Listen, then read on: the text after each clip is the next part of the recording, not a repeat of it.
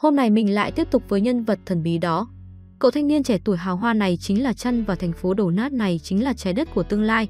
Giờ đây trái đất tươi đẹp đó ngập chìm trong biển lửa.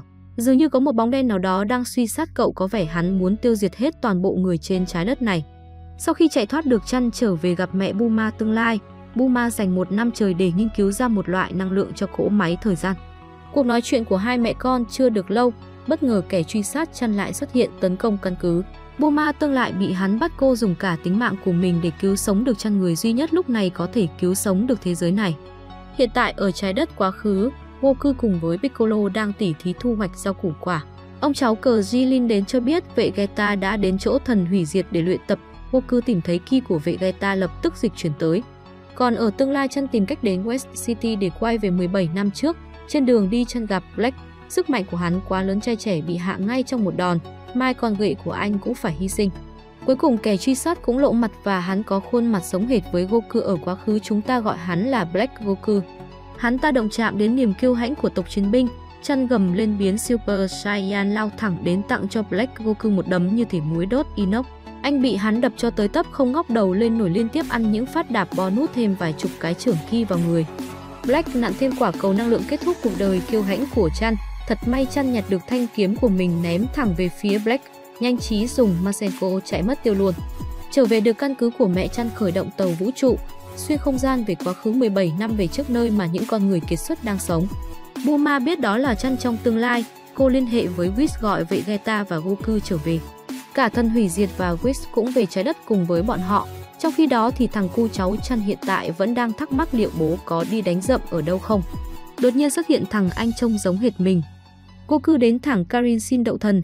Cuối cùng chăn cũng tỉnh dậy nhưng anh thấy Goku lao đến tấn công luôn vì anh tưởng đó là thằng Black ai bảo hai người giống nhau như sinh đôi vậy. Buma giải thích cho mọi người hiểu để tránh gây hiểu nhầm. Bezos và Whis cũng rất ngạc nhiên trước con tàu vũ trụ xuyên thời gian này nhưng đi lại trong thời gian nó cũng là hành vi cực kỳ nguy hiểm.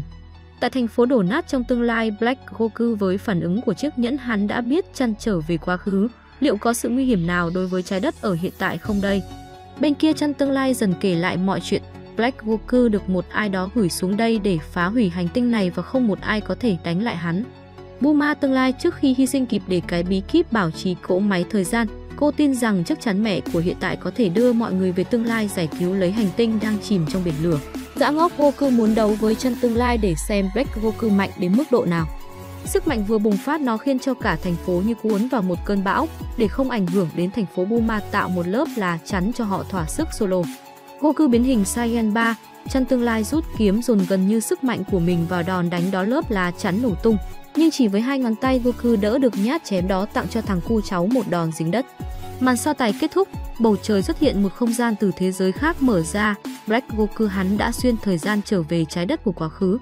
Vừa gặp thằng Black, cà rốt mạnh dạn tiến đến chào hỏi thân thiện. Black không nói nhiều tặng ngay cho cà rốt quả cầu năng lượng bay 9.000 mét tí nữa thì hẹo may là anh đã vừa lên VIP mới.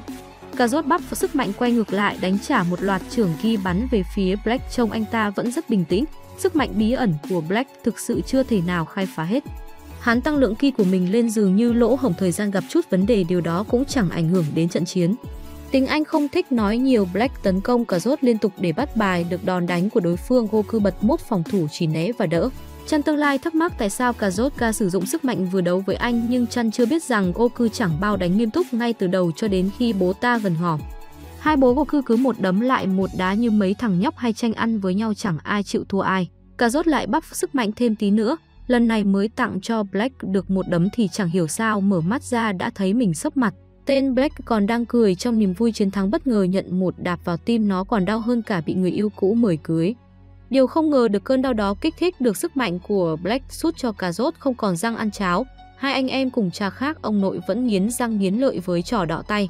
Black đột nhiên bị hút vào trong dòng thời gian dường như sự bóp méo của thời gian đang cố định lại và trở về bình thường. Trước khi trở về tương lai hắn vẫn kịp phá được cỗ máy thời gian, điều bất ngờ hơn là hắn có thể hấp thụ được phong cách chiến đấu của cà rốt.